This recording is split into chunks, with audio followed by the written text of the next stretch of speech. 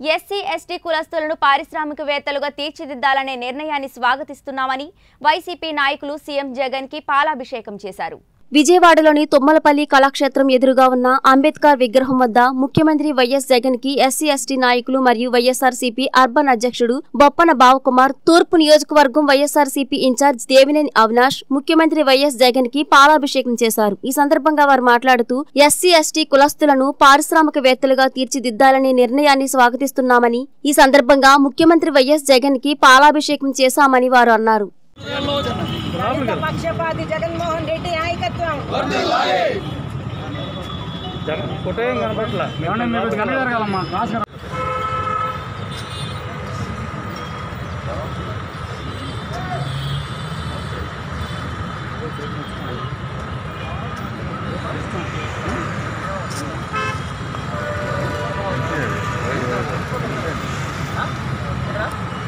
నాయకుడు జగన్మోహన్ రెడ్డి గారు.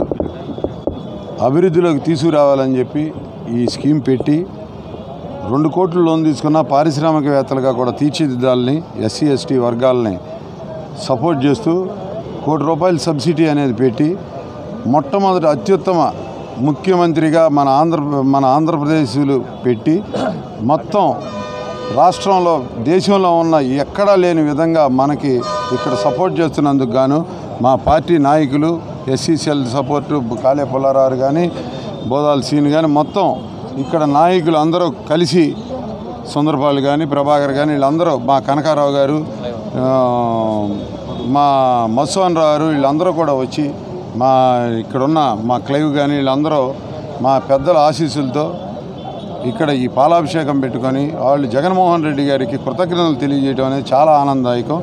ఏ విషయంలోనైనా సరే జగన్మోహన్ రెడ్డి గారు పేదబడుగు వర్గాలకు అండదండలతో ఉంటూ పార్టీని ముందుకు నడుపుతున్నందుకు ఆ పార్టీలో నాయకత్వం వహిస్తున్నందుకు మా అందరికీ చాలా ఆనందంగా ఉంది. అట్లాగే పేదబడుగు వర్గాలు దీన్ని ఉపయోగించుకొని వాళ్ళు అభివృద్ధి చెందాలని జగన్మోహన్ రెడ్డి గారు ఇచ్చిన ఈ సహకారాన్ని ముందుకు నడపాలని చెప్పి తెలియజేసుకుంటూ ఆయనకి సహాయం చేసినందుకు ధన్యవాదాలు తెలియజేస్తాను